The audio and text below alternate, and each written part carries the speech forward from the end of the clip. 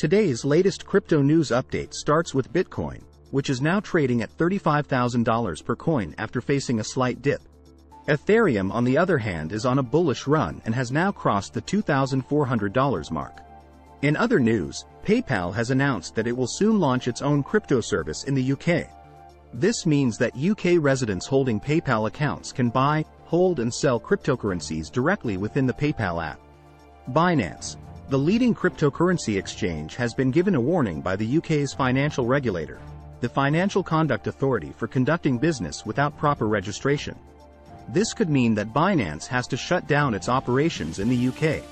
Finally, the governments of El Salvador and Paraguay have proposed a bill to make Bitcoin a legal tender in their countries. This will help to promote financial inclusion and attract foreign investment. That's it for today's latest crypto news update. Don't forget to hit the subscribe button for more